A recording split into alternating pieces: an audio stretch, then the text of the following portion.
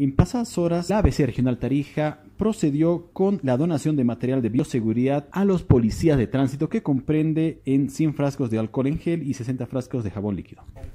Nos va a servir para que nosotros podamos otorgar a nuestros camaradas para que ellos se sientan también protegidos cuando estén en la actividad principal de que es el control de la restricción de vehículos, control de las personas que están este, por las diferentes arterias de la ciudad. Es así de que necesitamos, para mí es importante este apoyo, ya que inclusive nos, nos levanta el ánimo, el espíritu de seguir trabajando por nuestra sociedad.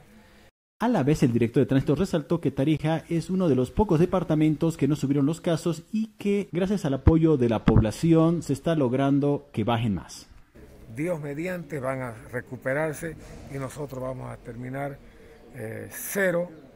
cero casos de Conavic-19 y ojalá esto termine